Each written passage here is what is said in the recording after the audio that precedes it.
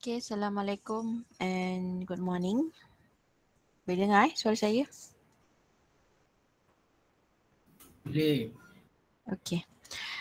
So saya tak tahu siapa yang duduk college. Ah, saya ada problem internet pula pagi ni tapi ni saya pakai saya punya data. Saya punya handphone. Okay, hopefully line okay lah eh sampai habis kelas. Okay, so um, let's uh, begin our class with Ummul Kitab Al-Fatihah.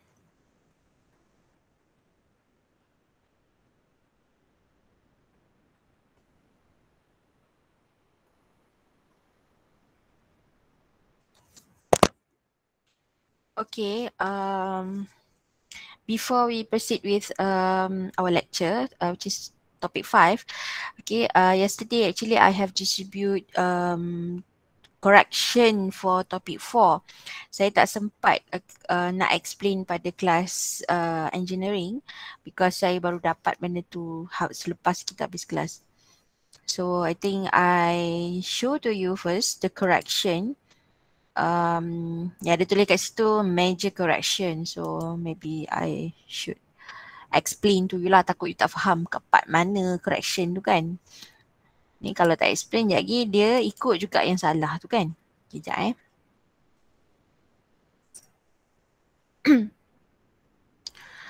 Uh, okay, so I give you this slide. Hopefully rasanya class rep dah distribute eh. Ada tiga slide uh, correction eh.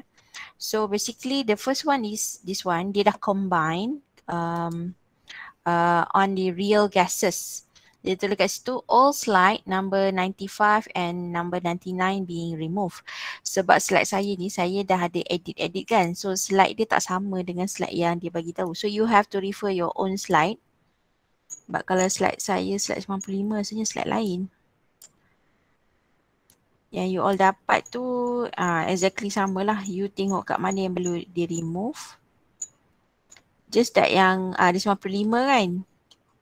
Just tak tak tally dengan apa yang dia bagi tu sebab saya ada tambah-tambah slide kan. It's actually this one lah. Sebenarnya uh, kita remove yang ni and then yang ni.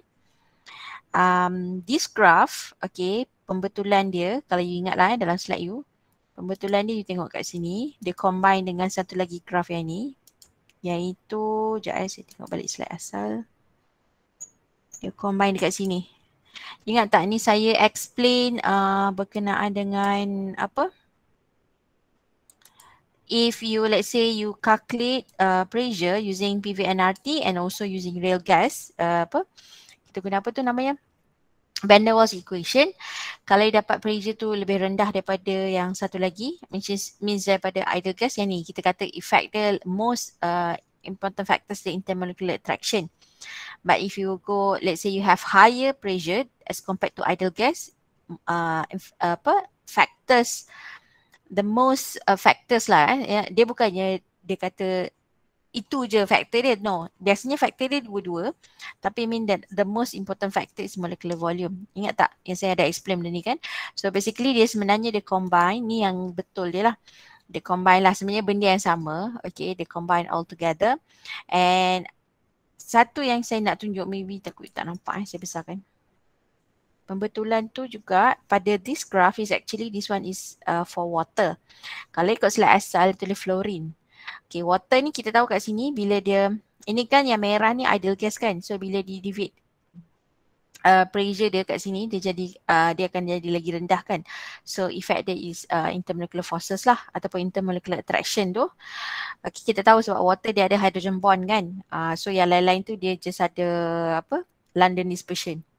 Okay, ini satu uh, pembetulan dia the next is yang ni sebenarnya spontulan ni saya pernah cakap verbally.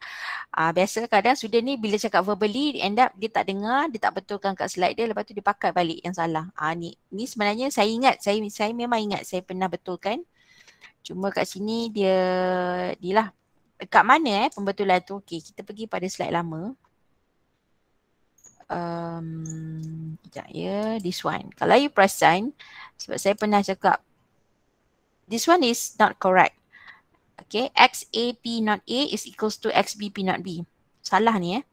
Sebab uh, solution solution with volatile solute tu dua-dua naik pressure dia takkan sama kan setiap gas tu pressure dia lain-lain so takkanlah uh, pressure tu sama kita tahu memang Raoult's law formula dia PA XA P not A PB XB P not B but the the apa the equation is wrong kalau you buat sama dengan so sebenarnya P total is PA plus PB you kena carilah setiap satu Okay, dia ada dua tau. Uh, satu lagi dekat sini. Ha, ni pun sama.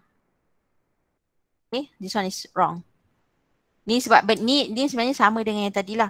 So make sure eh uh, you jangan samakan uh, partial pressure of each gases akan lain-lain. Dia tak akan sama. Okay. One kita macam nak highlight balik kat situ takutlah you tersalah. Sebab soalan berkenaan partial pressure ni selalu ditanya kan dalam exam. So jangan guna uh, information yang salah lah. So you tengok balik pada correction tu yang saya dah bagi tu. Uh, nampak pembetulan dia uh, instead of dia buat equals to. Okay dia buat sebenarnya is this one. Not equals to, dia kena tambah. Which is you have to find uh, uh, for each of the gases lah. Uh, vapor pressure yang keluar tu. And then yang satu lagi yang ni. Ha, ni pun tadi pembetulan dia lah. P total is equals to uh, XA P not A plus XB P not B. Ini semua isu dia kalau yang ada volatile solute tu eh. Ha, ni pun volatile kan, benda yang sama lah. Kalau non volatile dia tak ada isu. Sebab dia ada satu je uh, apa vapor pressure yang you nak cari. Okay, I think ada tiga je. Ha, ada tiga sajalah uh, slide untuk kebetulan tu. Okay, please take note and download lah uh, slide ni. Saya dah bagi dekat class rep kan. Okay, um, so now kita masuk topik 5. Kita continue balik. Okay, so yesterday you have learned on determining enthalpy of reaction. Okay, so basically uh, using direct method and also indirect method. Uh, indirect method you akan belajar hari ni lah basically. So semalam you belajar direct method where you need to uh, calculate the enthalpy of reaction using enthalpy formation of each substances where the products, formation of products minus formation of reactants. Okay, so yang penting make sure dia adalah formation lah. Kalau information yang dia bagi tu memang formation, you boleh guna direct method. Okay. Now, um, kita pergi pada Hess's Law pula.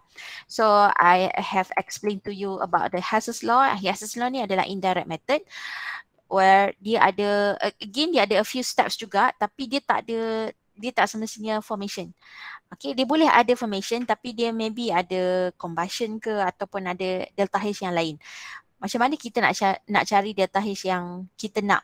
Okay, so still kita boleh pakai method ni yang kita panggil Hess's Law. Okay, and Hess's Law pula kita pecah pula dua. Okay, uh, uh, the first one is algebraic method and the second one is energy cycle method. Okay, kita pergilah uh, one by one. Okay, so basically kat sini ya, Hess's law states that the enthalpy change for an overall equation is equals to the sum of the enthalpy changes of individual steps. So enthalpy change yang you nak cari tu sebenarnya overall equation tu uh, is equal to sum of enthalpy changes of individual step. Uh, macam ada banyak-banyak step tapi berkait juga dengan you punya main equation, okay? So benda tu boleh di, digunakan you hasil tambah benda tu you akan dapat balik yang main dia tu. Okay. So um, kita terus tengok contoh lah senang eh baru faham. So the oxidation of carbon uh, to form gases carbon monoxide is shown in the following equation. So tengok ni eh oxidation of carbon dia C plus O2 dia dapat CO. Basically benda ni sama juga dengan enthalpy formation of CO dalam bentuk gas. Sebab dia uh, yang ni apa? Uh, apa kita panggil ni? Um, elemen kan? Standard elemen dia dalam keadaan gas oksigen carbon pun graphite. Okay? Dia sometimes uh, enthalpy reaction tu is uh, macam ada contoh kadang uh, combustion the value dia is equivalent to formation value of delta H sebab apa selagi dia follow dia punya standard tu maksudnya you tengok balik definition kan uh, definition formation product you kena one mole definition untuk combustion, substance yang you burn in oxygen mesti one mole. Kalau kebetulan dua-dua tu sama, maknanya value combustion and also formation tu akan sama. Itu contoh lah. Okay. So contoh kat sini dia kata use the following data, data yang mana? Data yang bawah ni, okay, to calculate the enthalpy change of reaction for the oxidation of carbon to form gases carbon monoxide. So you perasan dia nak cari this one. What is the value of delta H? Okay, but the given this equation ada dua. Okay, if you look at this equation, um, tengok equation one eh. So CO gas plus half O2 produce CO2. You rasa adakah ini enthalpy formation? The answer is no. Because um, uh, CO is not element kan? Okay, so CO is not element. So maknanya enthalpy of reaction ni adalah khas untuk equation number one lah. Okay, uh, so apa lagi? Uh, adakah ini apa kita panggil ni? Combustion? Combustion CO gas plus half O2 produce CO2. So ini one mole. So the answer is yes. So means that delta H1 is also equivalent to enthalpy of combustion. Tapi benda tu sekarang tak penting. So tak kisahlah apa uh, combustion ke formation ke. Yang penting dia ada value which uh, this value is equivalent to this equation 1. Okay, tengok equation number 2. Carbon, graphite plus O2 dapat CO2. Kalau ikutkan sebenarnya kalau saya tengok kat sini, ini adalah enthalpy formation. Ini yang saya cakap, yang atas bukan formation tapi yang bawah ni formation. Kan sebab dia elemen delta H2. Okay, so apa kena mengena this equation dengan yang atas? Okay, tengok kat sini. Adakah semua ni enthalpy formation? No, kan? Tadi equation 1 is not enthalpy formation. So means that you tak boleh guna direct method untuk dapatkan this enthalpy yang you belajar semalam kan? You belajar semalam equation yang dia bagi dekat bawah ni dia mesti enthalpy formation. But now dia bukan enthalpy formation. So you tak boleh guna direct method. Okay. So kita try, uh, kita guna Hess's law lah. So first kita guna algebraic method. First kita you kena identify the target equation. Target kita soalan lah. Soalan yang you apa? Yang ni kan? Ni soalan dia. You nak ni, you nak benda ni. Okay. So you nak delta H. This is your target. Maksudnya apa? Apa maksud target tu? You kena make sure carbon mesti duduk sebelah kiri which is carbon is the reactant. O2 also mesti duduk sebelah kiri dan dia mesti half O2 and CO dia mesti product duduk sebelah kanan. Okay. Now if you look at equation 1 okay, equation 1 yang ni CO plus half O2 CO2. Macam mana you nak relatekan equation 1 dengan uh, target equation you? Apa yang sama kat sini? Now kalau you perasan yang sama dia adalah half O2 kat sini dan juga CO. Okay, CO. You tengok equation number 2. Ada tak CO dalam ni? Tak ada. Dia ada CO2 saja. CO tak ada. So half O2 sebab equation 2 dia ada O2, equation 1 pun ada O2. So bila ada dua ada dua equation yang ada benda yang sama biasanya itu kita buat last sekali kita ambil yang satu satu je yang memang equation 1 je ada equation 2 tak ada contoh so dalam kes kat sini equation 1 ada CO equation 2 tak ada kan so target you CO ni you tengok CO dulu But now, if you look at uh, equation 1 and your target equation, CO uh, kat sini duduk sebelah kanan. Dia jadi produk. But equation 1 dia adalah reactant. So macam mana you nak buat bagi sebiji sama macam ni. So you have to reverse the equation. Terbalikkan equation. Okay, so that's why dekat situ, uh, sini dia kata step tu. Equation yang one is reverse. So bila you reverse kan equation, automatically delta H pun you kena reverse eh. Asal dia delta H is negative, which is exothermic reaction. Now you have to reverse the equation, delta H, so sign pun akan jadi positive. Nampak dia dah reverse lah. Now CO dah ada sebelah kanan. Okay. Half O2 jadi belah kanan pula. Tak apa. Don't worry. Sebab O2 kita ada dekat equation 2 juga. So you you abaikan benda yang ada lebih daripada satu. Okay. Kita tengok yang satu je. Kita target yang tu dulu. Okay. So now um, for uh, equation 2. Equation 2 pula. Apa yang you boleh buat? Now yang yang apa yang satu je yang dia ada adalah carbon. Betul tak? Equation 1 tak ada carbon. Kat sini ada carbon. And kebetulan you tengok both sebelah kiri. Dan both adalah one mole. Okay. So bila both sebelah kiri, both one mole. Perlu tak you tukar? Tak perlu. Okay, so kekal duduk macam ni lah. Okay, so lepas tu you nak buat, kena buat apa? You kena add. Step number three, you have to add the manipulated equation and their resulting delta H. Okay, cancel all the substances with the same mole coefficient that are on the opposite side. Kalau dia duduk opposite, you cancel. Kalau dia duduk dekat yang sama, you tambah atau tolakkan lah. Uh, tengoklah biasanya tambah lah. Okay. Uh, tapi make sure you jangan pula cancel the target equation. Target tu itu main yang you nak. Okay. So this is actually yang ni tadi. Uh, this is equation 1. This one is equation 2. Yang dia bagi tadi eh. Yang ni you punya target. Kalau you susun balik, make sure eh. Susun tu yang ni dah tukar jadi positif kan. Mana yang boleh cancel, kita cancel. So, you nampak kat sini CO2 dengan CO2. Sebab dia dah potong siap-siap eh. For you nampak ah CO2 dengan CO2 boleh cancel. Cancel. Okay. And then kat sini. Sini one mole of O2. Sini half mole of O2. Ha, ni kiri kanan eh. Dia boleh cancel. Tapi maksudnya dia tak boleh cancel exactly cancel terus. Sini one mole, sini half. So maknanya ini cancel kat, eh sorry. Ini cancel half. So yang satu ni akan tinggal half. Dia macam tolak lah sebenarnya. Half mole of O2. Okay. Ada lagi tak yang boleh cancel? Now tak ada. CO tak ada yang boleh cancel. C tak boleh tak boleh cancel. O dah tinggal ni lah. Yang lain dah cancel. So bawa turun mana yang tinggal. So carbon nampak duduk belah kiri you buat turun. CO.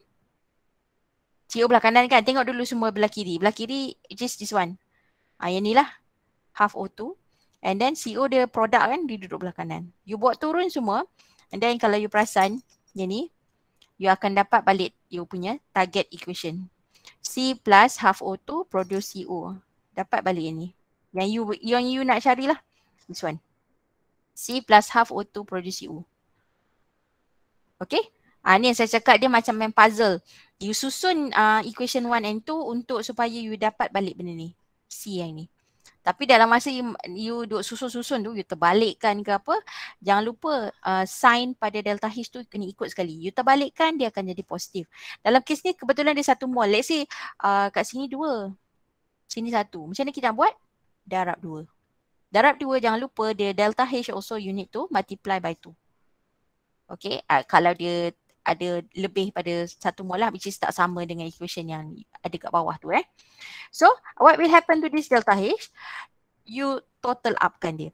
Because this is the uh, positive value, this is negative. So total up you akan dapat negative 110.5. Ah, ini cara algebraic method. Okay. Now, uh, another method is energy cycle method. Okay, So uh, energy cycle method is a diagram that shows interconnection of three or more reaction lah. So biasanya kat sini A kepada B ni the delta H1 ini adalah kita punya main dia lah normally lah. Okay so kat sini biasanya uh, dia macam yang saya cakap tu kalau kita nak pergi let's say daripada Selangor nak pergi Perak you nak ikut highway, you nak ikut jalan lama, you nak ikut jalan lain uh, macam you end up you punya apa tujuan final destination you sama which is B contoh. So kalau you nak straight you dapat delta H1. Satu jalan je, highway je, boring kan. So kalau you nak uh, nak singgah-singgah, nak singgah mana singgah mana macam contoh A you singgah dekat C dulu. Uh, so ada delta H dia. So C you pergi kat B pula. So ada delta H dia. So yang ni yang kita kata uh, the delta H1 is equivalent to the sum of the individual step yang lain. Yang penting uh, walaupun you hasil tambah ni you punya final destination you masih B. Origin you masih A, final you masih B. Okay, so tak kisahlah uh, different route pun. So, um, energy cycle method ni, uh, again, soalan yang sama macam tadi. Okay, let's say you have the target equation tadi. We have carbon, uh, graphite and also half O2 dapat CO. Okay, kita nak delta H tadi kan. Again, kita ada juga equation 1 and also equation 2. Okay, so normally, the target adalah yang main kita lah. Okay, this delta H. Main kita, this is your target. Yeah. Okay, this is your target. And then you tengok equation number one. One is CO plus half O2 produce CO2.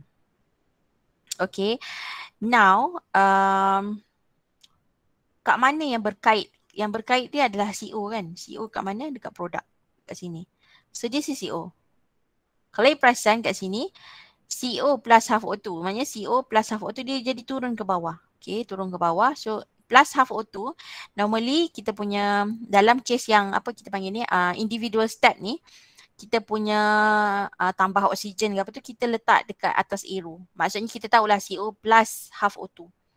Okay, so um, and you perasan arrow dia ke bawah lah sebab CO tu jadi reactant kan ke bawah CO2. Okay, equation yang kedua, carbon plus O2, ni O2, produce CO2. Dia produce yang sama, CO2. Okay, now if you look at this cycle, cycle dia uh, tak macam cycle yang kita nak macam ni. Sepatutnya cycle dia mesti ke sini, lepas tu ke sini kan. Supaya you boleh dapat uh, you punya, apa kita panggil ni tadi, uh, final destination you dekat B. But bila you tengok kat sini, dia terbalik. Now macam nampaknya final you dekat CO2 kan. So macam ni kita nak buat supaya kita punya final destination dekat CO. So you have to, ah ni kan ni asal sebab yang ni nampak dia dalam bentuk negatif. So you have to get the opposite flow lah. You have to reverse. Dia macam you buat untuk algebraic method kan, you reverse the equation. Okay, so bila you reverse, ah, nampak kat sini kita dah reverse arrow dia dah pointing towards CO. Okay, so bila you reverse, automatically your delta H also will be will become positive. Okay, then you akan kira you akan dapat jawapan yang sama. Sama dengan algebraic method lah. Okay. So, uh, cuba jawab checkpoint 15 ni. Okay, boleh try uh, do dua method. Okay, I think untuk the first one you try buat guna algebraic method dulu lah. Lepas tu nanti you try buat guna energy cycle. Cuba jawab dulu. I give you two minutes.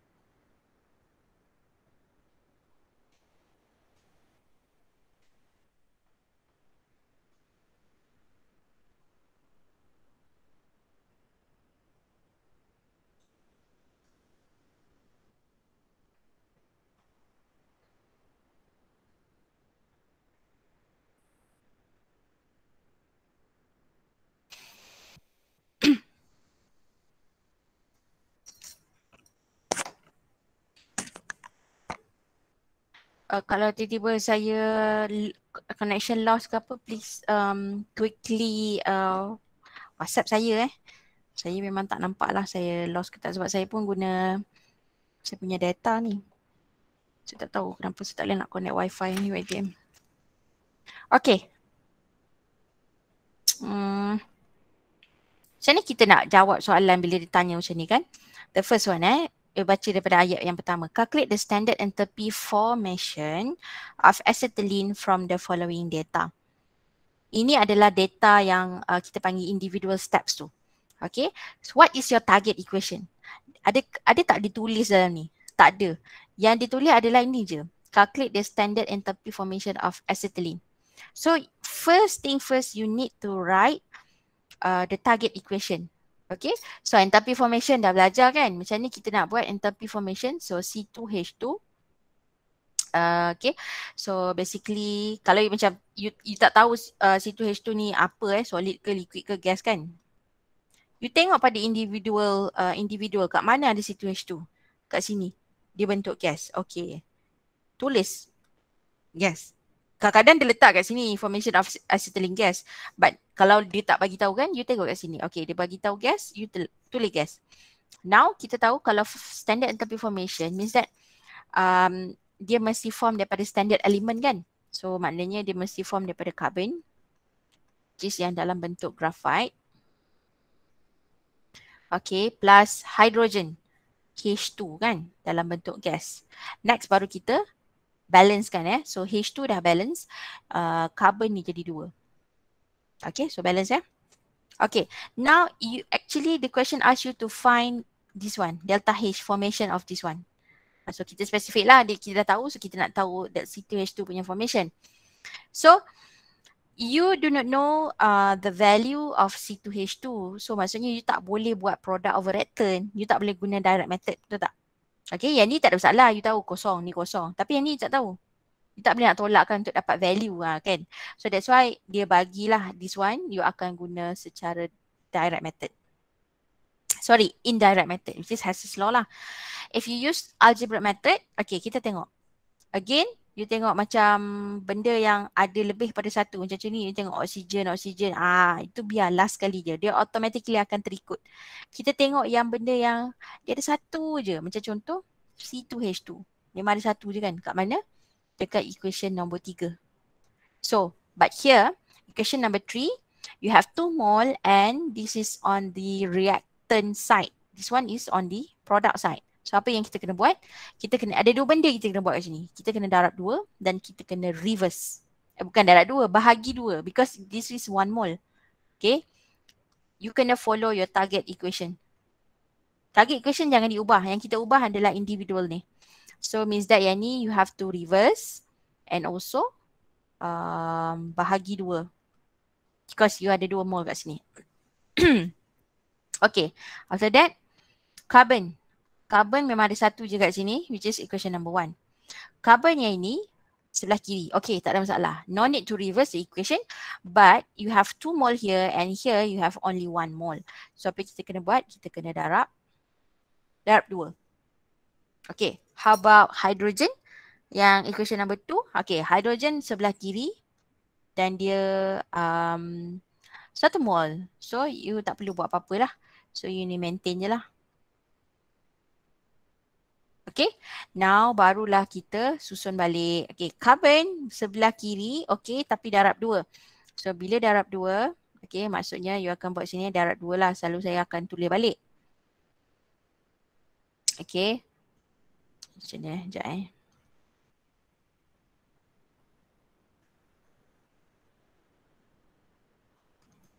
Okay, so darab dua. So, dia akan jadi tu C Okay, as graphite. Uh, tambah 2O2 gas.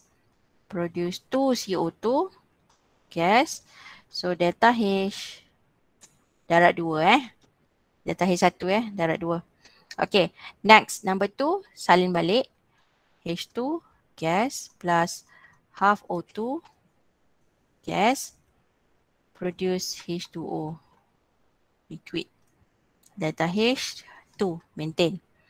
Number 3, okay, number 3 reverse dan bahagi 2 eh, reverse dan bahagi 2. So kalau bahagi 2 maksudnya ini akan jadi return eh.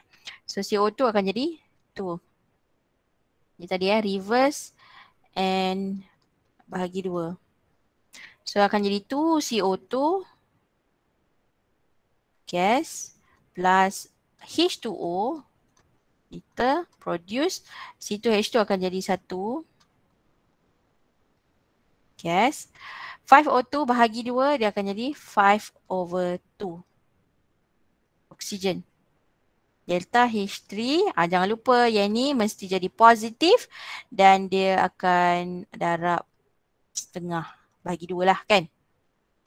Okay lepas tu tak apa ni saya contoh dulu sebenarnya ada je jawapan tapi nak bagi nak tunjuk you dulu eh.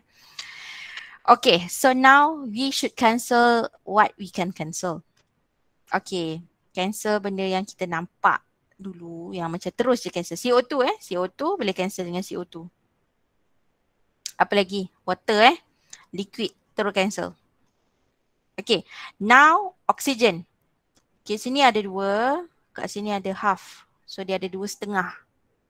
Okay, so ada dua setengah, kat sini ada lima per dua. okay, lima per dua. Dua setengah is uh, ni lah kan. Uh, apa? Tiga per dua eh. Okay. Eh dua setengah. Empat, lima, lima per dua. So kat sini you boleh cancel which one. Cancel terus lah betul tak? Dia akan jadi lima per dua kan? Ini susah sikit dia pecahan eh. Dua tambah setengah dia jadi akan jadi lima per dua kan? So ni lima per dua. Cancel terus. Okay. So cancel terus maksudnya oksigen pun dah tak ada lah. Ada lagi yang boleh cancel? Tak ada. So apa yang tinggal? Yang tinggal adalah this one. Uh, equation 1, 2 je yang tinggal. Equation 2 yang ni equation 3 ini saja. Tulis balik, bawa turun semua apa yang tinggal. You akan dapat balik this one. This one and also this one. Exactly the same. Means that mol dia sama, dia punya duduk kedudukan dia belah kiri belah kanan sama dan the value of delta H tu you total up lah. Benda yang you dah darat dua tadi, you tambahkan dengan delta H tu yang maintain. Delta H3 ni ada dua benda you kena buat tadi. You kena positifkan dia dan you kena bahagi dua lah. Maksudnya ni bahagi dua. Dan dia akan jadi positif. Okay. So ni tadilah. Uh, ni uh, lebih detail lah kalau awak tengok kat sini. Okay. Tadi saya tunjuk, saya terus tunjuk. Maksudnya bila you guna algebraic method ni, you memang kena, um, memang kena ada jalan kira. Kita akan tengok. Maksudnya part mana. You kena tunjuk. Kalau darab dua, you kena tunjuk you kena darab dua. Kalau maintain, you tulis je maintain kan. Kalau yang ni, uh, you kata kena darab setengah dan kena reverse. Reverse. Kita akan nampak benda tu. So, itu jalan kerja untuk algebraic method. Kalau you tak tulis ni, akan hilang markah lah kat situ. Baik tak tunjuk jalan kerja dia eh. Okay. Uh, so, inilah jawapan akhir dia. 226. Okay. 226.6. Okay, how about if you use energy cycle method? So draw the energy cycle diagram starting with the target equation. Ah, ni tadi kan saya cakap, you punya target akan duduk ke atas uh, termasuk uh, oxygen on the arrow lah whenever required. So this is your target kan. You nak delta H uh, F untuk C2H2. So the first one is uh, carbon kepada CO2. Susah nak kena tunjuk balik ke sini. Ni carbon kepada CO2 kan. This is the first one. Okay. But uh, dalam case kat sini, carbon kepada CO2. Kat sini dah automatically dua carbon. So automatically yang ni you akan darab dua. Okay. Remember equation asal carbon saja. So you kena tally lah kan. You tak boleh. Yang penting dia macam ni. Yang penting kalau you guna energy cycle method, yang ini jangan usik you lockkan dia. Maksudnya walaupun equation you carbon tambah oksigen produce CO2 kat sini dua carbon, you yang ubah kat dia, you ubah kat sini. Darat dua. Maknanya ini CO2 you akan dapat dua kat situ. Okay, so second is hydrogen plus uh, water, eh sorry, hydrogen produce water kan? Kata balik. Ini. Ha ni, hydrogen plus half O2 you dapat water. Okay, so dapat kat sini. Dapatlah kat sini dia sebab maintain kan. So tak perlu tak perlu ubah apa-apa. So maintain lah value dia. Yang ketiga, so yang nampak kat sini, you boleh tambahkan dia. Dan bila you naik arrow, you akan dapat produk kan. Okay, yang yang sama masalahnya dengan yang dekat dekat sorry, yang dekat nombor equation nombor tiga, dia sama tapi dia dalam keadaan terbalik kan. Dia buat CO2 tambah H2O uh, produce this one. So it means that automatically kita tahu okay ni dah reverse. Okay sebab tu kat sini kalau perasan dia akan tambah kat sini so dia akan jadi reverse. So delta H tu akan jadi positif. Okay sebab yang penting macam saya cakap apa-apa pun arrow dia dia mesti ke arah C, C2H tu yang bawah ni total macam mana pun yang bawah tu. Okay yang bawah ni dia mesti arrow dia ke arah C2H tu juga. Ah, okay. Sebab tu you akan dapat kat sini delta H dia positif dan darab setengah sebab apa? Kalau ikutkan uh, C2H2 kan uh, dia punya tu satu mol. So kat sini uh, apa eh, yang you dapat tu dua mol kan? Kat sini kita nak satu mol saja. Kita nak satu mol saja. So that's why you kena bahagi dua. Okay. So kalau you perasan, this C2H2 sepatutnya produk dia ada daripada yang ini lah, equation yang ni. Patutnya dia kena ada oksigen kan, C2H2 plus oksigen kan. So kat sini kita tak tulis benda ni uh, sebab biasanya dia O2 tu dekat arrow kan. Dia tak jadi plus, dia jadi tolak lah, tolak half O2. Sebab kita tak boleh letak kat sini pula sebab bila letak kat sini, now equation ni dah jadi lain pula kan. So normally O2 tu sebab dia dia apa kita panggil ah side product kan. Main kita adalah C2H2. Okay so normally kita tak tulis ataupun biasanya kalau you nak tulis juga kat sini neck tolak half O2. So kenapa tolak? Sebab sepatutnya produk you C2H2 tambah oksigen. So bila you letak dekat belah reactant, ini dah jadi reactant kan? Kalau apa uh, reactant dengan arrow itu adalah reactant, ini adalah produk. Selepas je selepas je tanda ni tanda arrow ni uh, kat belah sini adalah produk. So, maksudnya selagi you duduk kat bawah ni termasuk dekat atas arrow itu adalah reactant. Reactant eh. Okay. Sebab tu kalau kat sini kita tak boleh letak auto kat sini. Kalau auto kat sini dia jadi reactant. Lepas tu kita terpaksa letak tolak. Tolak oksigen. Sebab tadi saya cakap patutnya oksigen ni berada dekat produk. Based on equation lah. Equation dia tadi mana? This one. Ni. Benda ni tak jumpa ni tadi kan. Uh, bukan half over two eh. Five, five uh, over two tadi. Ha. Kalau you nak letak jugalah. Tapi, tapi kalau you tengok nota ni tadi, dia tak letak sebab sebenarnya main product kita adalah this one. So this is sebenarnya tolak five over two o two Dekat atas arrow. Okay, again jangan letak kat atas ni eh. Sebab bila you letak kat atas ni, now you punya equation yang ini pula jadi salah. Ah, dia kena tally lah kat situ. Lepas tu sebenarnya saya tak apa suka energy cycle method ni. Dia dia kena fahamkan dia punya dia punya apa flow dia ke mana dan you kena pandai lah untuk tukar, untuk darab ke, untuk bahagi ke. Okay tapi uh, kalau ada pilihan kalau saya better you guna uh, this algebra method lah lebih mudah. Tapi kalau dia suruh you buat uh, macam ni dia sebenarnya cara dia eh. Yang penting again tadi saya cakap your target equation A kepada B So walaupun you ada C, uh, walaupun uh, yang C pergi D tapi arrow ni mesti dua-dua ni ke arah you punya produk. Dan kat situ you manipulate lah. Nak kena darab ke, nak kena bahagi ke, nak kena reverse, nak kena maintain. Uh, this is your target equation, your product. Okay? Okay, cuba buat yang ni pula. Maybe boleh try guna, guna uh, cycle method checkpoint 16.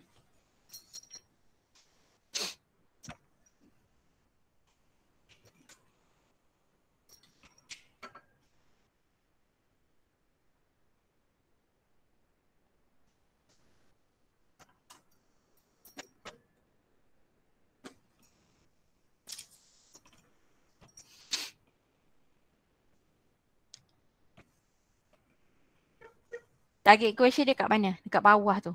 Calculate the standard enthalpy formation of methane. Ah, kena tulis dululah you punya target equation. What is methane?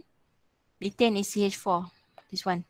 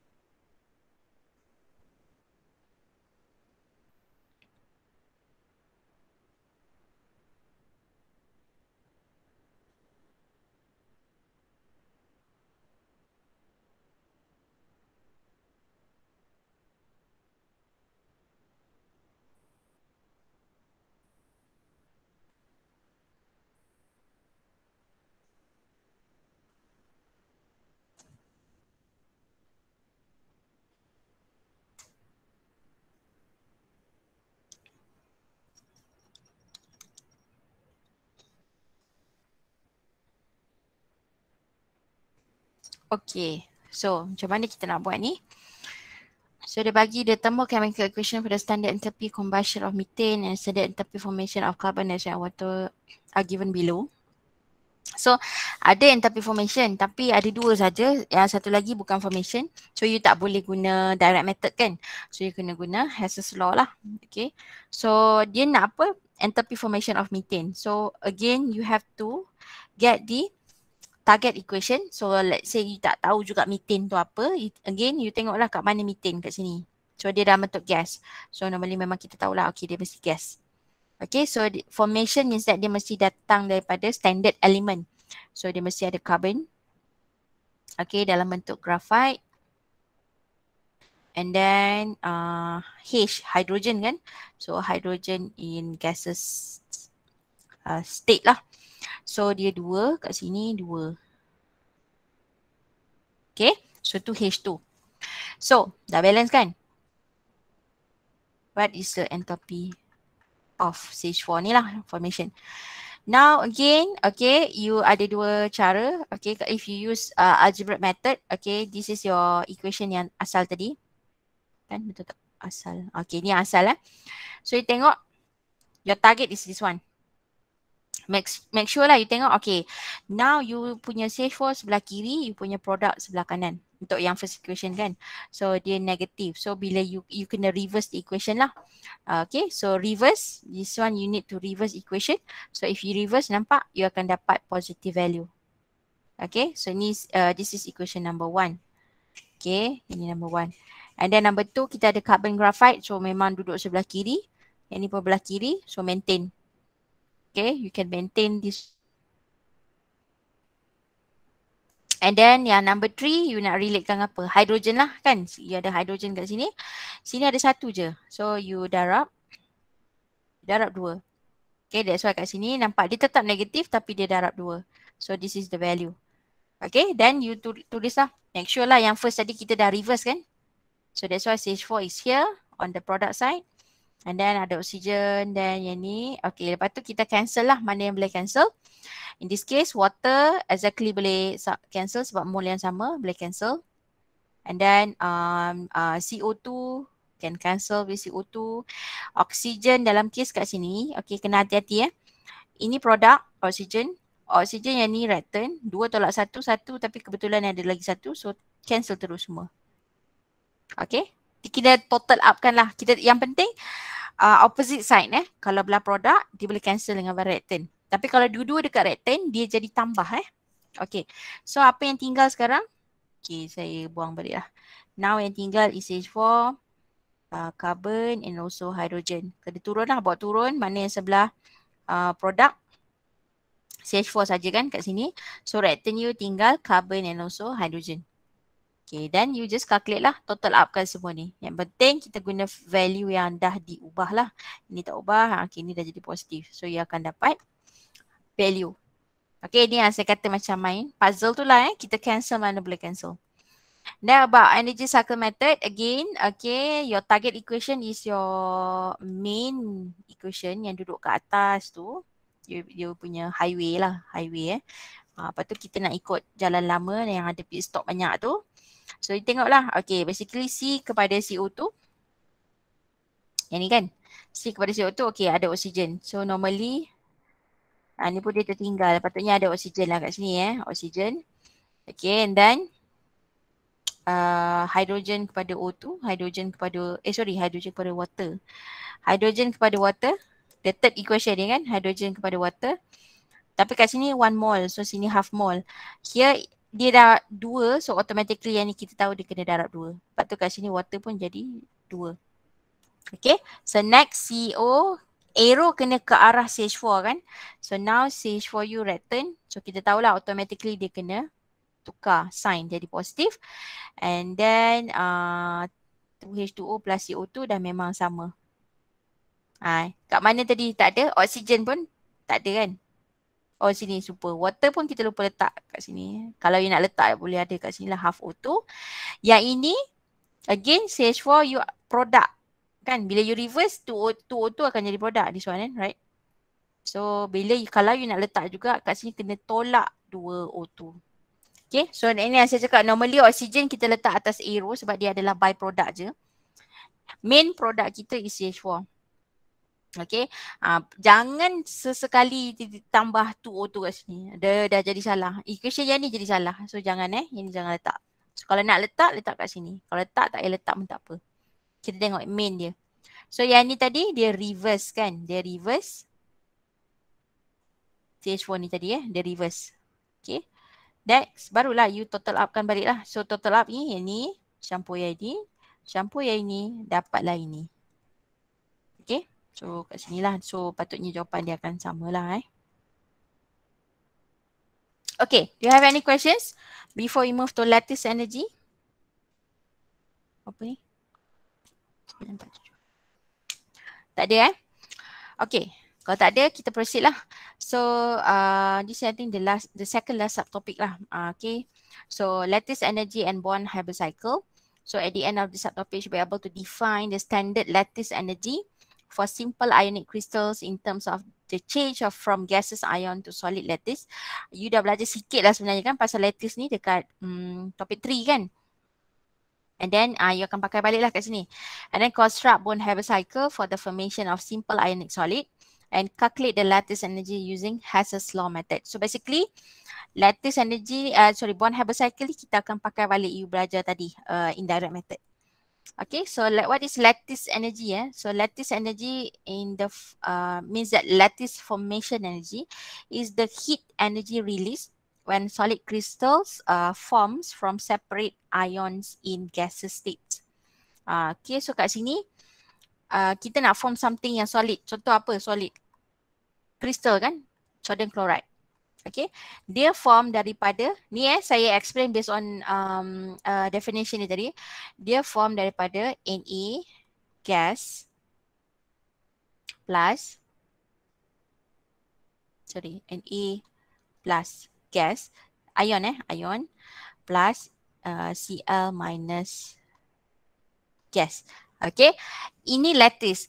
Saya tahu kalau you biasa apa? Na kan aqueous, Cl minus, Na plus aqueous, Cl minus aqueous. Ah, tapi untuk lattice, dia dalam keadaan gas. Dia ion tapi dalam keadaan gas. Okay.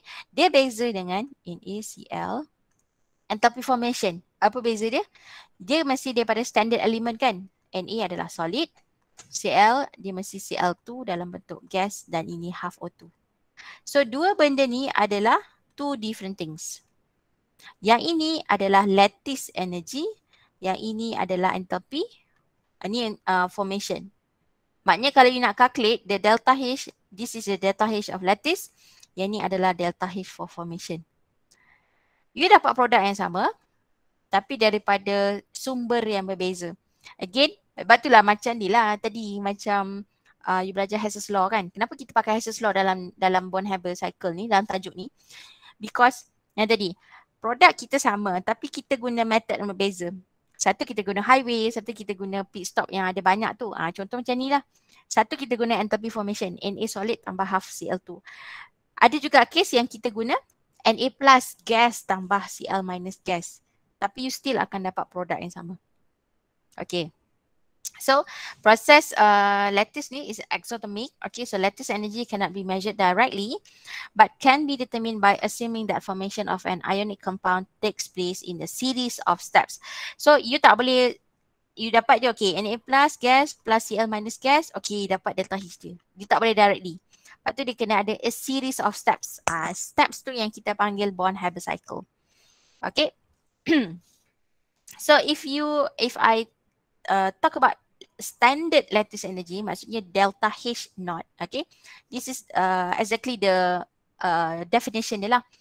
Where uh, okay the standard lattice energy of an ionic compound is the heat release when one mole okay crystal you ni one mole. Dia macam you know about formation one mole is formed okay but it's from its gases ions under standard condition.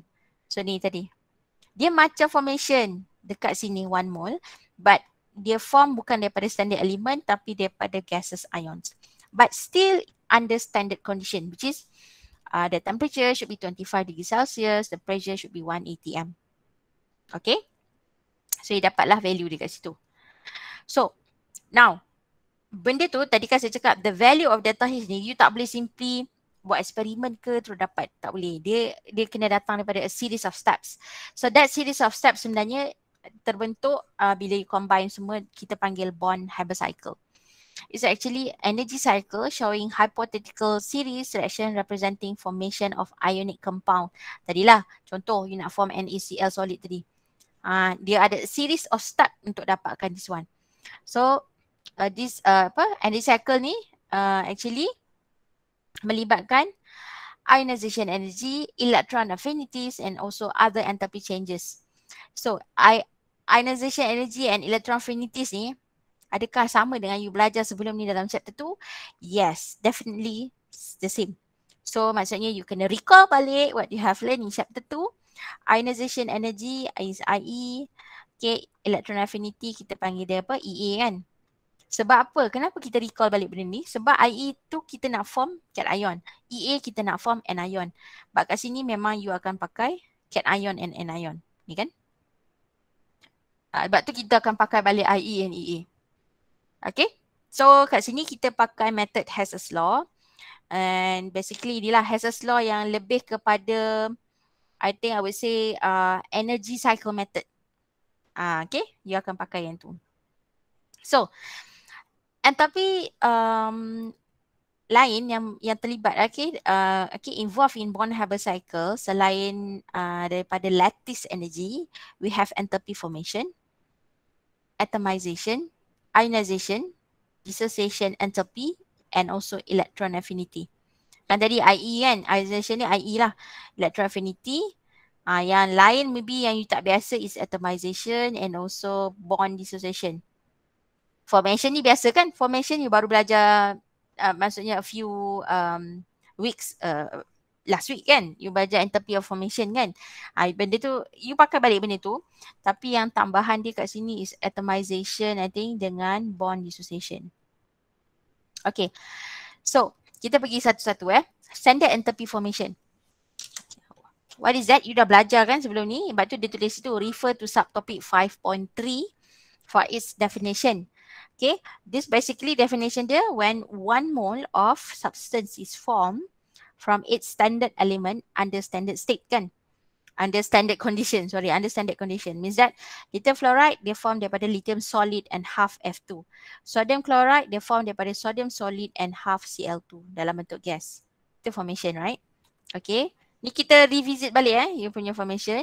And then, okay, ni benda barulah. What is standard enthalpy atomization? Nama pun atomization means that you nak jadikan dia atom. Okay, so the standard enthalpy of atomization is the heat absorbed. Okay, dia absorb eh, so dia positive. When one mole of free gases, atom, nama pun atomization, atom eh, tapi dalam bentuk gas, is formed from its element under standard condition.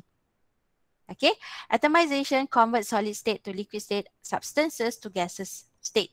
So it means that atomization maksudnya you kalau benda tu dalam bentuk molekul dia convert lah jadi atom. Contoh eh half H2. Dia molekul kan dia jadi atom dia jadi H lah. Kenapa half H2 jadi H? Sebab dia nak one mole ni, one mole. Okay, so you tak boleh buat, uh, kan kita tahu biasa kita nak cantik H2 produce uh, 2H gas. Uh, ini dah jadi dua mole. So tak nak. Kita nak one mole. Sebab ni basically based on definition kan. Standard. So dia mesti one mole. This one mesti one mole. Dan mesti gas. Okay. So same goes to chlorine. Half Cl2 gas produce Cl gas. Okay. How about Na? Kita tahu Na tu dalam bentuk solid. Standard. Standard ni solid. But for atomization dia mesti dalam bentuk gas. So if you convert solid kepada Na gas walaupun you memang ada satu je atom tapi kepada satu tapi dalam bentuk gas. This one is also atomization. Okay. So means that atomization ni um, dia bukan bermaksud daripada molekul kepada gas, uh, daripada molekul pada atom semata-mata. Dia still juga daripada elemen yang lain, daripada liquid, daripada solid, dia boleh jadi gas. Dia jadi gas tu, itu adalah atomization. So all of this is called atomization. Standard enthalpy atomization. Based on this definition lah. Okay. So, what is standard bond dissociation enthalpy? Bond dissociation, nama pun bond dissociation maksudnya bond yang diputuskan eh. Okay, the standard bond dissociation enthalpy is the energy absorbed, again they absorb to break one mole of a covalent bond in gas phase. So, contoh, ah ni tadi, hydrogen gas you pecah jadi 2H. Apa beza dengan tadi? Beza eh. Okay, hydrogen uh, gas you pecah jadi 2H gas. Dia tak akan sama dengan hydrogen gas. Half hydrogen gas pecah jadi H gas. Value dia berbeza. Nampak tak? Ni 432. Yang ni tadi 216. Sebenarnya value dia bahagi dua je. Okay. Tapi beza dia kat sini. Dari segi definition. Maksudnya H yang satu atom adalah atomization. Kalau you jadi dua H, dia nama dia bond dissociation ataupun bond energy. Okay, value dia tak sama. Okay, sebab tu kat sini uh, you kena tengok betul-betul adakah dia bond dissociation ataupun adakah dia atomization. Okay, macam dia lah kalau you dissociate maksudnya you ada H. You pecah, ah uh, tu you just pecah dissociation, bond dissociation sebab tu you dapat dua H. Okay. Tapi atomization sebab dia punya definition dia, dia nak specific one mole of product which is H tu lah. Okay. Lepas tu dia kata kat sini, for diatomic gas like hydrogen, the atomization is equal to half. Bahagi dua lah, half of the bond energy. Macam ni 432 bagi 2 dapatlah atomization 216. Kalau klorin 242 bagi 2 dapatlah 121. Okay, yang penting you kena faham uh, nak tengok tu. okay, uh, kat bawah ni bacalah notes eh. The standard enthalpy uh, change of atomization for noble gas is zero. Because they exist as monoatomic gases. Dia memang monoatomic kan. So dia zero lah. Okay, apa lagi? IE. Ingat lagi IE? Apa? Dia kan minimum energy required to remove electron kan. Ah, itu IE. Now kita cerita pasal standard enthalpy, maksudnya kita nak cerita pasal heat. So kat sini heat required, okay, when um, one mole of gaseous atom remove one mole of its electron to form one mole of positively charged gaseous ion under standard condition. This sebenarnya macam you buat definition of IE tapi kita tambah heat required means that heat absorbed dia adalah endothermic eh. Okay, uh, energy yang diperlukan lah, energy needed uh, when one mole of gases uh, atom remove dia punya elektron. Sebab tu kalau you perasan, dalam IE awal-awal tu you dah belajar di dalam bentuk gas, betul tak? Okay, so sama kat sini. First IE, second IE, you belajar benda ni chapter 2 kan. So first IE, you remove the first valence electron lah. So second IE, you remove the second uh, electron daripada positif. Okay, kalau ni lah, you ingat lagi kan? Kalau ingat dia memang mesti dalam bentuk gas. Ha, even dia dalam positif pun dia dalam bentuk gas. Sebab benda tu berkait. You belajar chapter 2 you berkait dengan you belajar dalam chapter 5. Okay so maksudnya you kena faham lah. Uh, Mg plus uh, ini adalah second IE. Uh, the first IE daripada atom eh. Bukan daripada solid tapi daripada atom gas. Bukan daripada Mg solid tapi daripada Mg gas. Okay. So EA pun samalah uh, the definition now dia um, want to accept electron. So dia basically uh, kat sini dia either liber- liberated or absorbed kan? The first one normally adalah liberated lah. Dia akan um, release heat. Tapi the second one dia akan absorb heat. Ni kan you belajar dalam chapter 2 kan? So kenapa yang second dia absorb? Uh, because of the repulsion. Kan kita uh, dah add electron. Bila add electron Uh, mula-mula memang dia nak diterima elektron. Now bila you dah add elektron but uh, suddenly you nak terima lagi satu macam oksigen kan dia dah ada repulsion kat situ. Sebenarnya tak favor lah kalau ikutkan dia tak nak juga. Uh, so kat situ uh, that's why dia perlukan dia perlu absorb pula heat uh, instead of the release heat eh. So kat sini pun I think you tahu juga kan dia mesti syarat dia mesti gas dan dia akan form uh, negatively uh, charged lah okay negatively charged gases ion. Okay. So now You dah belajar tadi semua definition kita kenalkan setiap satu. So soalan yang berkenaan dengan uh, Born-Haber cycle ni dia akan tanya lebih kurang macam ni lah. Example eh. Calculate the lattice energy. Nampak tak daripada tadi kita cerita atomization, uh, ionization, affinity tapi lattice energy kita cerita yang first awal-awal tadi kan. Selalunya soalan memang dia suka tanya what is the lattice energy lah. Ah, dia boleh je tanya what is the electron affinity based on lattice energy dia dah bagi. Okay. So contoh kat sini dia nak lattice energy of solid lithium fluoride using the following reaction. Nampak? Dia tak bagi equation apa-apa macam dalam Hess's law. Benda ni kan Hess's law. Macam okay, saya revisit balik yang sebelum ni eh. Kalau you perasan, you belajar Hess's law, at least, at least dia akan bagi equation kan. Kat sini you kena faham-faham sendirilah. Bila masuk Bonhoeffer cycle, kadang-kadang dia bagi. Ikut soalan lah nak bagi macam ni. Ha, kadang-kadang dia bagi macam ni. So, bila you bagi macam ni, you kena tahu macam mana you nak write the equation for all of these standard ni. Dia bagi ni. Kena tahu nak tulis. Again, apa yang yang nak cari pun kena tahu macam ni equation dia. So, lattice energy. Normally kita start dengan equation yang you nak. The target equation. So, kita tahu, okay, lithium fluoride, solid. Kalau lattice, remember eh, this is not formation. This is lattice. So, lattice maksudnya daripada ion. So dia adalah lithium plus gas plus fluorine minus gas. So this is delta H lattice energy yang you nak cari. Allah terpadam pula. Nak tulis. Saya ter, tertekan button padam. Okay. Tadi apa? Ini tambah. Okay, so ni tadi adalah delta H yang you nak cari, lattice energy. Kan? Okay, now.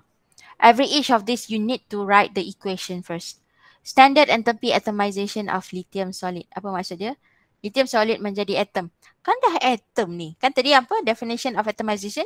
Dia mesti jadi gas. Walaupun dia dah atom tapi dia mesti jadi gas. So maknanya dia masih solid. So maknanya you kena buat lithium solid menjadi lithium gas. Remember? Ini tadi. Kan? Ha, macam ni je arrow. You tak payah nak tiba-tiba tambah elektron ke apa. Ha, itu dah lain eh. Tambah elektron ke apa tu. Dah masuk bawah IE. IE atau EA. Okay. So, how about number two? Standard enthalpy of atomization of fluorine. Ha, dalam ni dia dah gas. Tapi dia molecule. So, number, this is number one. Number two. Uh, fluorine eh. Fluorine gas. Molecule menjadi fluorine. gas. Value lah. Kalau dia minta letak value eh. Ha, macam ni lah. Delta H is equivalent to 155.2 kilojoule per mole. Okay. Kalau fluorine ni delta H is equivalent to 75.3 kilojoule per mole. Okay, number three. Standard enthalpy ionization of lithium gas. Dia dah bentuk gas eh. So lithium gas, ionization energy, dia adalah lithium plus gas tambah elektron kan. Dia buang kan. So delta H je 5, 2, 0. Okay, how about number 4? The electron affinity of fluorine gas. Nampak dia letak F eh. Dia bukan letak F2, dia letak F. So you can put here as F gas. Tambah elektron. So you akan dapat F minus gas. So here is negative 3 to 8 kilojoule per mole. Number 5. Standard enthalpy formation of lithium fluoride. Ah, nampak apa beza dengan yang ni? Ni lattice eh. Lattice eh ni. Okay, this is your target. Target you nak dapat apa value dia lah. So formation, again kita tahu formation lithium fluoride solid kan dia mesti form daripada standard element, right? So lithium dia adalah solid tambah half F2 gas. So that one is the delta H 594.1 kilojoule per mole. Kejap, negatif satu kejap per mol. Okay. So apa guna you guna buat equation ni? Okay, sebenarnya um, ini tadilah saya dah, saya dah tuliskan. Saya dah tulis siap-siap semua benda tu. Atomization, standard tepi semua tu. Sekejap eh.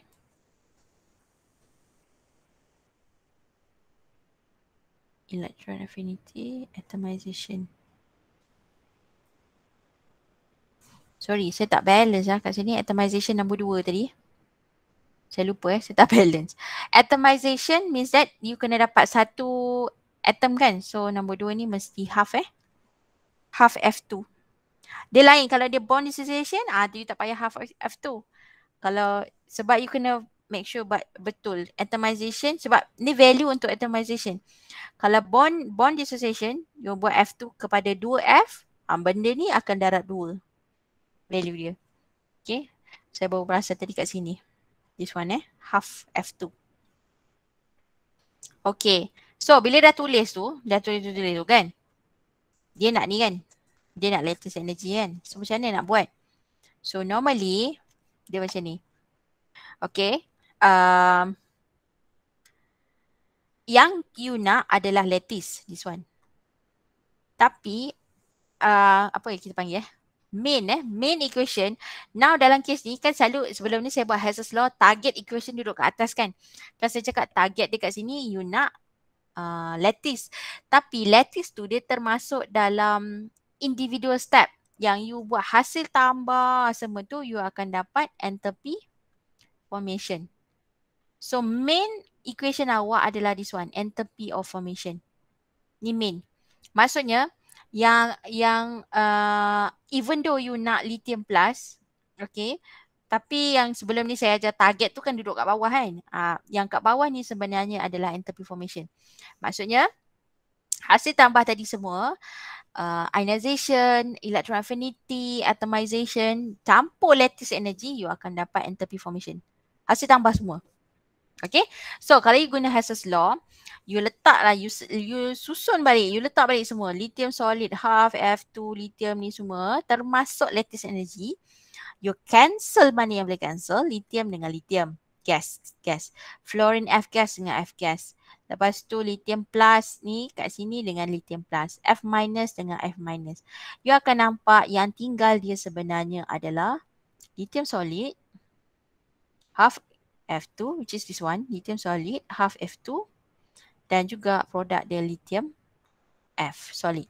Sebab tu you punya formation sekarang ni yang duduk dekat bawah. Tapi yang dia, tanya adalah this one. So can you find this one delta H5 uh, boleh yang ini kan total dia kan. So negatif 594.1 you tolakkan semua ni dapatlah lattice. Ni eh. According to this one. Enthalpy formation is equivalent to delta H 1, 2, 3, 4, 5 tambah semua.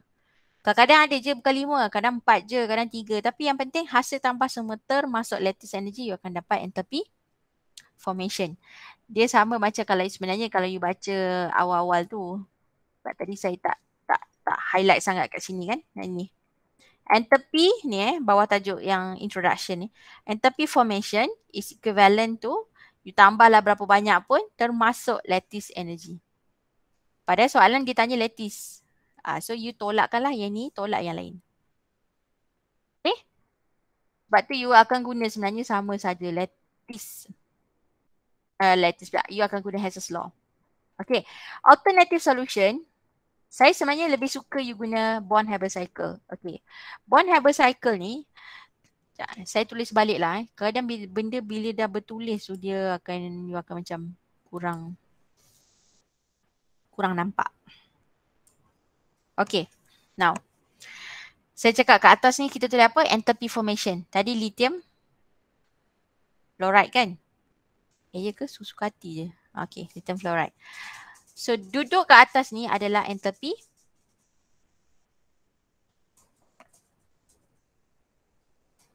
Sekejap eh, saya confuse.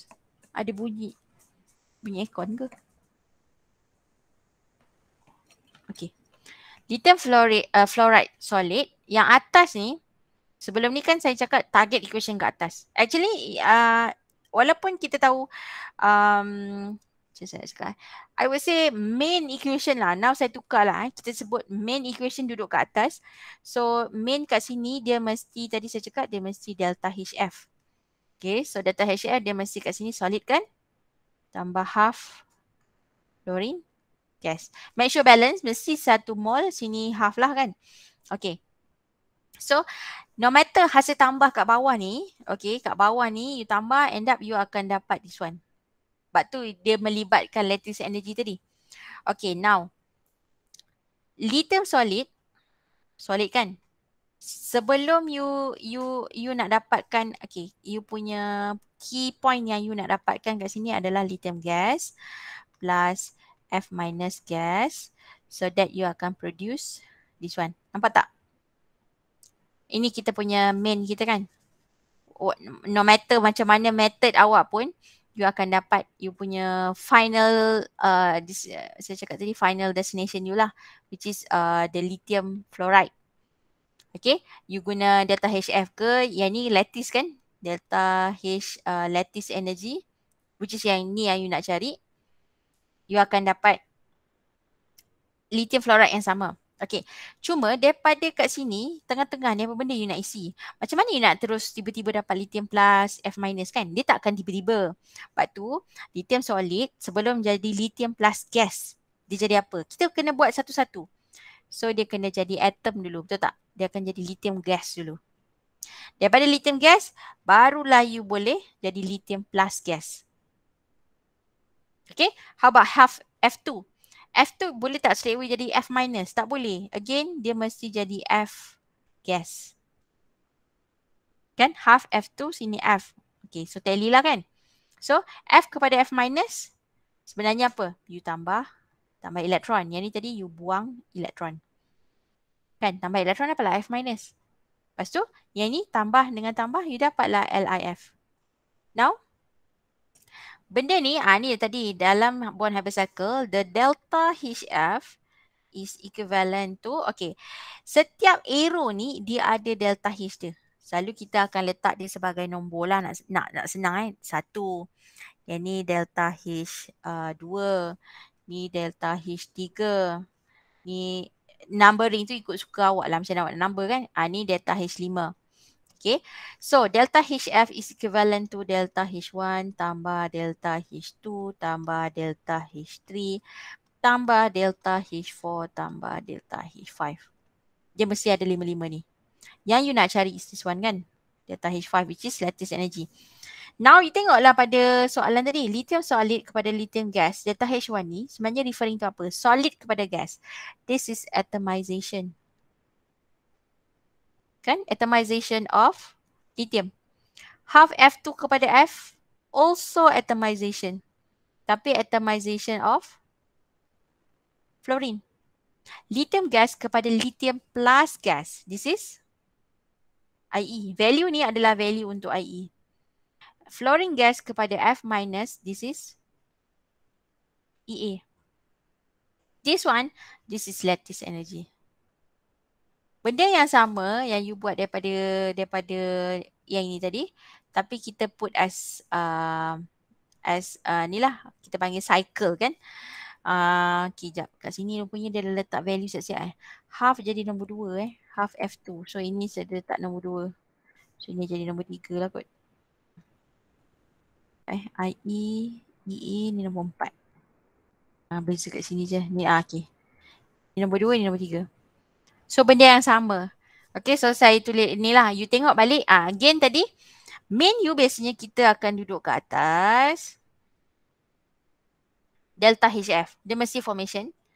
Formation memang dia given kan. Ah, yang ni yang you nak cari ni. This is lattice. Energy. Ah, memang tak nampak you daripada solid kepada gas. Delta H1. What is this? This is atomization. Li gas kepada Li plus gas. So this is actually i.e.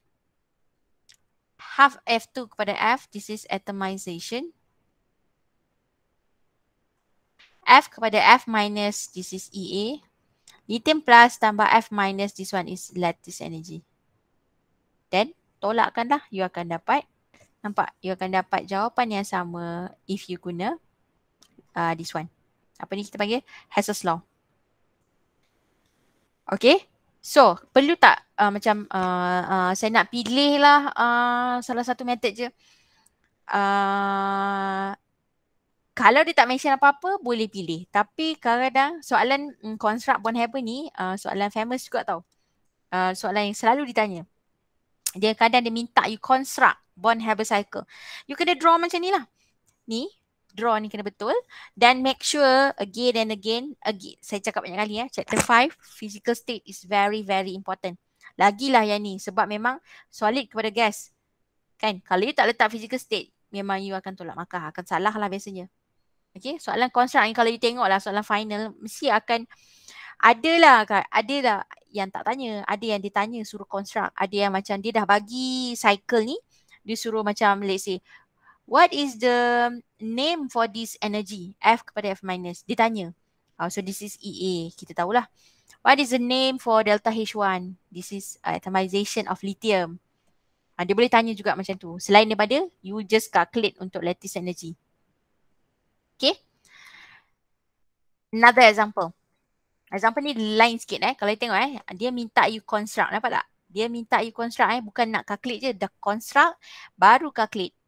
Maks- maksudnya you tak boleh lari. You kena juga buat bond Haber cycle. Yang bond Haber cycle yang mana? Yang ni lah gambar ni. You kena buat gambar ni. Okay. So dia dah bagi. Nampak? Dia tak bagi dalam bentuk ayat. Now dia bagi terus equation. Tapi you kena faham lah. Okay. Now you determine um, one by one. Magnesium solid kepada magnesium gas. So this is atomization. Right? Kepada gas eh. Half Cl2 kepada Cl gas. Again, this is also atomization. Okay. Mg to Mg plus. So this is IE. Now you have to be careful because you have Mg plus kepada Mg2 plus. This is also IE. So biasanya kita kena label. So this is first IE. This is second IE. Remember magnesium kan dia jadi Mg2 plus. So sebab tu dia ada first and second IE. Ha, nampak kat sini dia ada lain juga. Sebab setiap benda ni normally dia akan buat one by one. Ada juga case dia pernah buat ni. Mg gas pop dia terus buat MG2 plus. Kalau you rajin you boleh belik uh, soalan pasis yang dulu-dulu eh.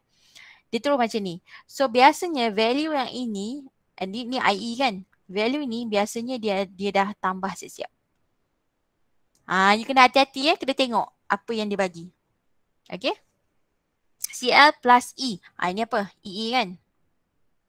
Memang kalau you nak lebih spesifik, I think better you put this first EA. Walaupun dia ada satu je, you just put first EA. And then Mg solid plus Cl2 gas produce MgCl2. So what is this? This is formation.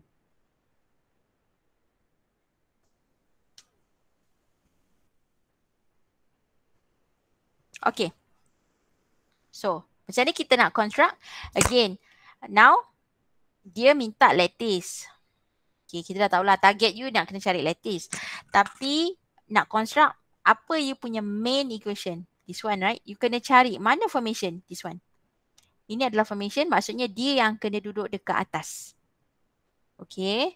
So okay. Instead of saya tunjuk tu again kita buat sama-sama lah eh. Alah kenapa kena discard pula. Saya akan draw draw draw lagi. Kita buat sama-sama. MG apa? MgCl2. Okay, kalau you ada pen dan kertas boleh try uh, buat sama-sama dengan saya.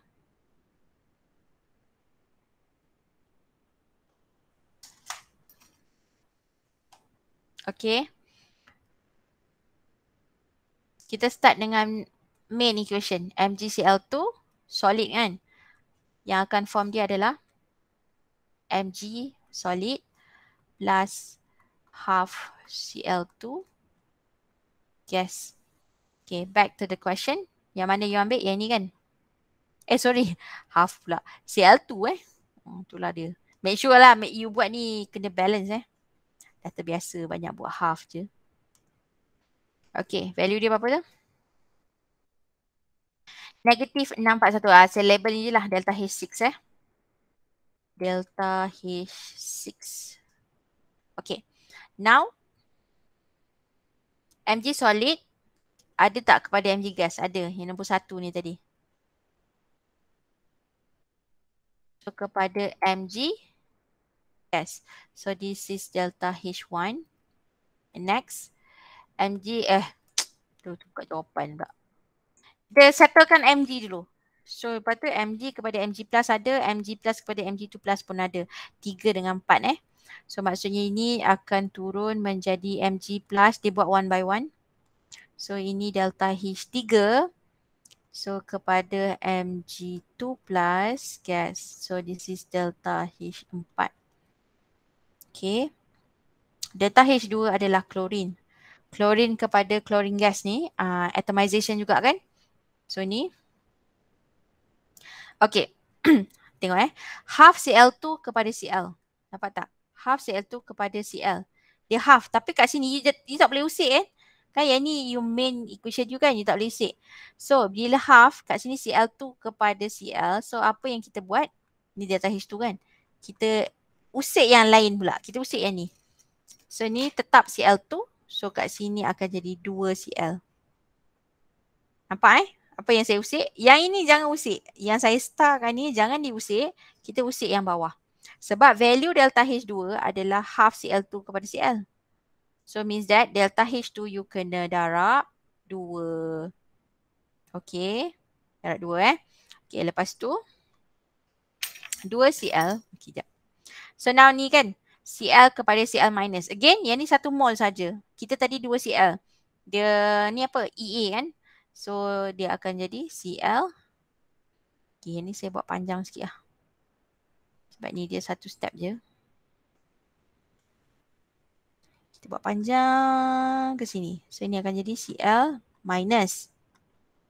Okay. Sebabkan ni dah dua. Dalam ni dia satu je. So delta H5 pun kena darab 2. So delta H5 darab 2. So ni delta H5 darab 2. So ni akan jadi 2. Okay. Now this one and this one. Dah jadi gas kan? Dah jadi ion, dah jadi gas. So you boleh jadi, let, dia boleh dapatkan dia punya lattice. Lattice energy. Okay, so ini adalah delta H lattice energy. Okay, so clear kat mana kat mana yang you kena usik dekat sini. Ada benda yang you kena ubah. Darat dua eh. Okay, sebab tu lah kat sini ha, you nampak dia dah darat dua siap-siap. So you kena kira lah darat dua, yang ni pun darat dua. So darat dua barulah you masukkan kat sini eh. Delta H6 apa dia? Yang ni tadi formation is equivalent to total up you total semua yang dah darab dua juga. Uh, so carilah what is the lattice energy. Okay. Ni kalau dia minta construct bond Haber cycle lah. Normally memang selalunya dia minta lah. Okay. Cuba buat ni. Ha, ni nampak. Dia nak construct bond Haber cycle. Cuba buat. Saya bagi 3 minutes.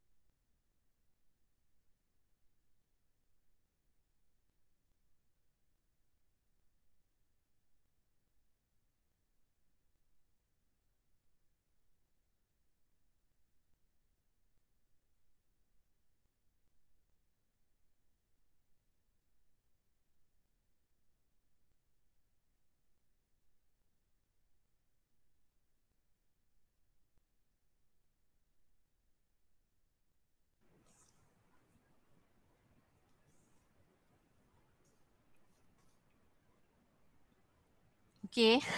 saya baru ya terkeluar. Saya baru perasan. Hmm, jap.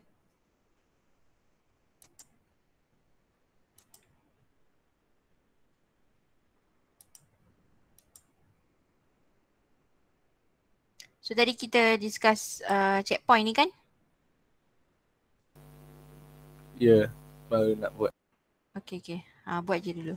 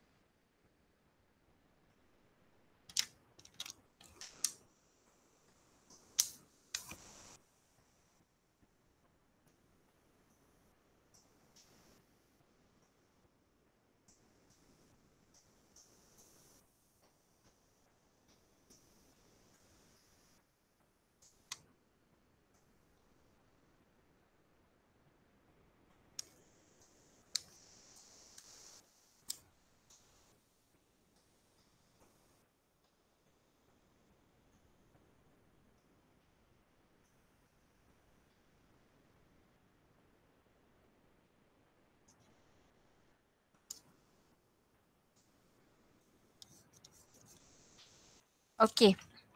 So I think kalau nak kira ada student dia nanti dia congak je kan. Tapi uh, kena hati-hatilah ya. Ada part kalau congak tu kadang-kadang ada part adakah dia kena darab dua, kena kena apa? Kena usik something kan. You kena hati-hatilah kat sini. That's why lepas tu soalan pula memang minta you to construct bond Haber cycle. So to construct bond Haber cycle, again tadi yang macam buat cycle tadi.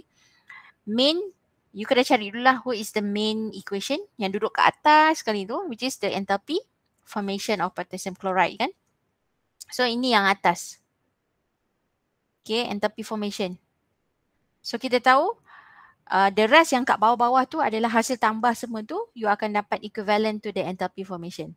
Okay, ini adalah main dia lah. So kat sini kita tahulah daripada solid dia kena buat satu-satu kan daripada solid kepada gas. So kat sini apa dia punya value? Dia adalah delta H1. Yang mana tadi? Yang enthalpy of atomization. Okay, 90 tadi kan. And then K uh, gas kepada K plus itu adalah IE kan. So this one is IE.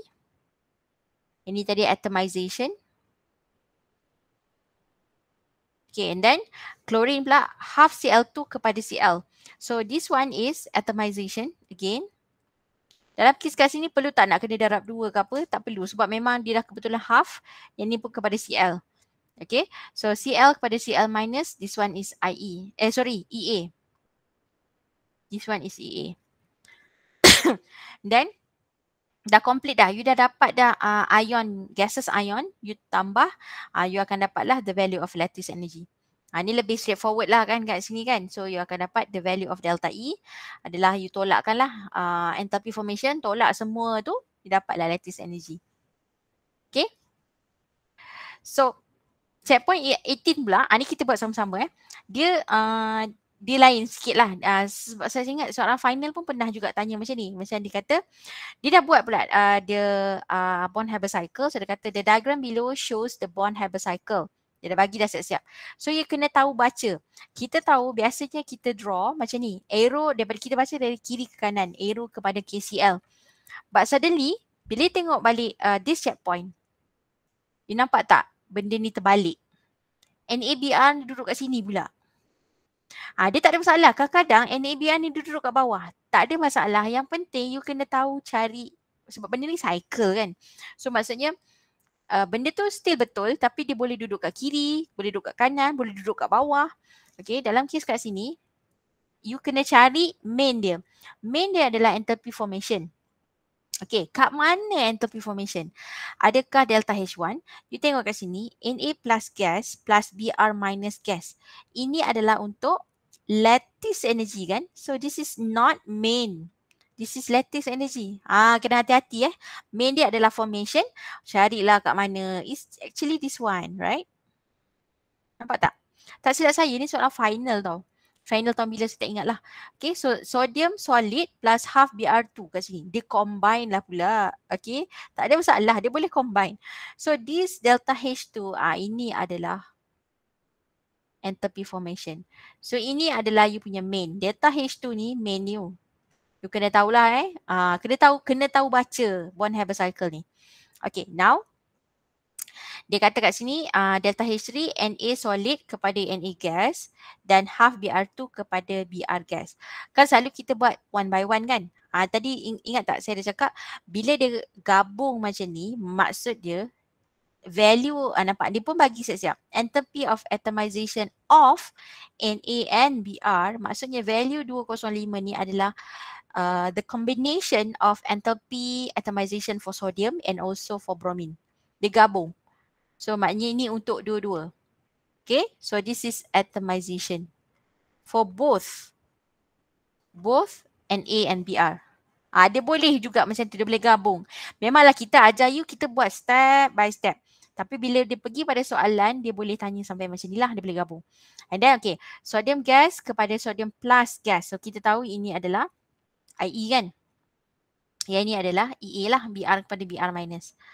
Okay, ha, lepas tu dia kata, use the following data to determine the IE. Ha, dia tak tanya lattice now sekarang, dia tanya IE. Sebab tu you kena tahu dulu kat mana IE. Maknanya dia nak delta H4.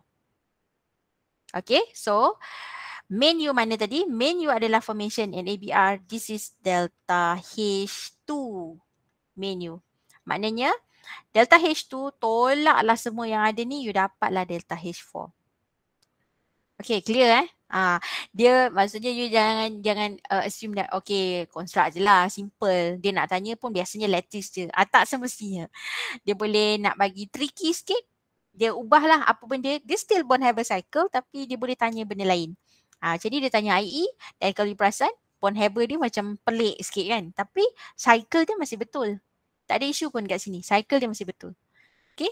Sebab tu you tengok kat sini jawapan dia tadi. Um,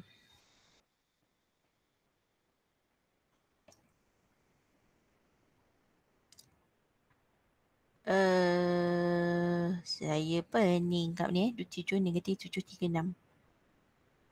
Formation negatif 376. Ah, kat sini pun dia ter- terbalik ni.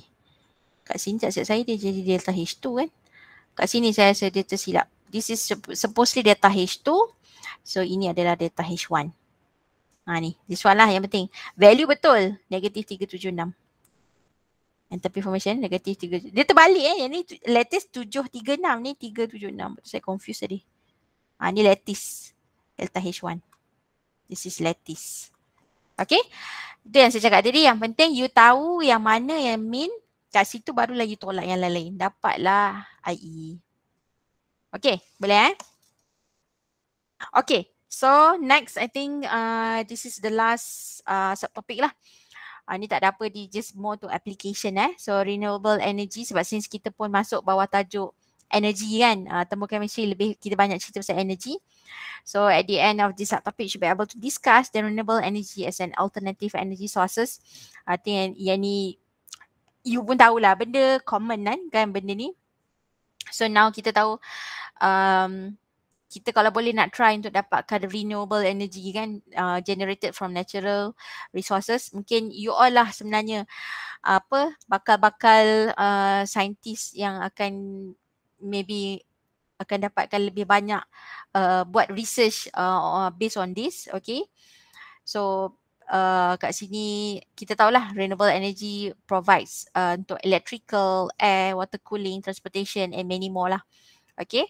So kita nak kalau boleh sebab kita punya sources yang asal macam contoh kita punya apa petroleum semua dah makin berkurang makin berkurang kan? Lepas tu kita nak go for this uh, renewable energy.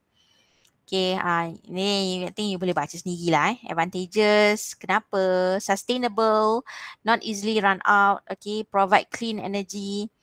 Okay, then of course lah sebab dia datang daripada natural and available resources and reduce the cost of operation. Cost of operation memanglah dia murah tapi actually the cost as for now lah maybe zaman you nanti tak tahulah kan. Uh, as for now they still I would say quite costly kan. Macam contoh solar panel kan. Apa niat di hati teringin nak pakai solar panel tapi mahalnya ya Allah kan terlalu mahal. As for now maybe sebab tak ramai lagi yang buat, tak ramai lagi yang guna. But bila nanti dia dah dah demand kan, sekarang ni macam tak ramai yang nak pakai. Bila dah on demand rasa dia akan makin turun lah harga. Dan I would say maybe nanti uh, all of you akan pakai this uh, solar panel kan. Uh, and then research on this pun masih lagi dibuat kan. Even kat Malaysia ke, kat luar Malaysia pun ke. So and yeah, who knows sometimes uh, maybe uh, in the future memang benda ni akan murah dan semua orang akan pakai dia macam handphone lah kan handphone ke apa kan awal-awal nak beli apa uh, saya pun dah tak ingat iPhone yang latest iPhone berapa saya tak ingat kan mahal kan. So normally uh, yang mahal tu of course mahal sebab dia baru keluar. Dan bila dah terlalu banyak dia dah keluar yang model-model baru so yang lama tu dia akan murah. So I think same goes uh, to this one lah. Even uh, solar panel ke macam yang bawah tu uh, wind energy tu of course lah kat Malaysia memang kita tak ada lah benda tu. Okay? Tapi who knows? Ada teknologi lain. Okay next akan ada another technology yang you boleh gunakan untuk get this uh, renewable energy sources. Okay? You all lah sebenarnya yang bakal-bakal scientist yang akan develop on this part. Okay? So I think the rest tu you boleh baca sendirilah I need just more to application eh. So, maka berakhirlah lecture kita. Bukan pada hari ini je eh. Pada semester ini, topik 5 ni this is the last topic. Okay, it's just that um, tapi saya nak cakap dululah uh, next week kita masih ada lecture. Okay, kita ada tiga jam lagi. Saya akan buat kelas but lebih kepada revision. Okay, so I hope uh, even though uh, apa dah habis lecture sebab lecture is just deliver apa yang you perlu tahu. Bila kita pergi pada revision saya nak of course lah sebab kita kita punya final uh, especially paper chemistry memang first paper kan. So of course uh, memang saya akan gunakan lah uh, next week untuk kita punya revision. And normally cuma saya tak dapat jadual lagi. Normally um, after class ada another week for revision week kan. Normally revision week akan ada clinic uh, normally klinik pun saya akan buat lagi another um, session lah. So kalau biasanya klinik tu nama pun klinik eh. Klinik ni untuk orang sakit kan. Uh, so dalam kes ni orang yang sakit kimia lah. Siapa yang want to attend. Normally saya practice yang saya selalu buat adalah again saya akan discuss um, lebih kepada passes questions lah. Okay macam mana kita nak jawab soalan, macam mana kita nak kat mana? Do's and don'ts selalunya kat situ lah. insyaAllah saya akan bagi. So sebab kita ada masa lagi minggu depan. So minggu depan saya akan start. Saya akan uh, sebab saya tak prepare lagi soalan mana saya nak pakai. So saya biasanya apa yang saya buat saya akan select dulu soalan. Saya bagi kat you all uh, earlier so that you boleh buat dulu. So bila buat dulu dan kita discuss. Okay. Sebab saya tahu biasanya kalau saya buat terlalu awal um, macam revision tu student memang tak study pun lagi especially dia bila paper last-last tu dia nak study paper lain dulu. Uh, tapi maybe sebab chemistry uh, is the first paper so I think you boleh get ready lah eh uh, untuk revision. Maybe I will start with uh, uh, chapter yang belakang-belakang dulu. So masih fresh. Maksudnya chapter 5, kita buat revision chapter 5, kita buat revision untuk chapter 4 dan baru kita ke belakang ke belakang sampai chapter 2. And one more, I think sebab plan asal saya, saya ingat saya sempat lah habis awal. Saya sebab saya pernah ada cakap saya nak discuss on uh, test. Okay, test yang dulu tu kan saya pernah ada saya dah bagi kan markah saya dah bagi you all punya answer script. You all, saya tak tahu you all tengok ke tak eh tapi I think ada student yang tengok lah. So memang saya plan untuk discuss that one. Maybe sebab tak sempat hari ni saya akan try ambil just a few times, uh, maybe a few minutes untuk discuss on that. Okay, sebab ada part yang memang I think still kita pakai dalam uh, chapter 5 and chapter 4 especially bab limiting return semua tu kan. Lepas tu saya nak juga discuss lah. Okay, so that one maybe next week juga. Okay, ada soalan nak tanya berkenaan dengan tadi? Hassel's Law, Bond Haber Cycle. Ada apa-apa nak tanya? Sebelum kita end our session. Tak ada eh? Okay, kalau tak ada, uh, kita jumpa next week lah untuk lecture eh. Apa-apa, any update info saya akan inform balik. Okay, berkenaan dengan kelas uh, kita next week eh. Okay, so thank you and uh, kita sudahi dengan tasbih kafarah surah Nas.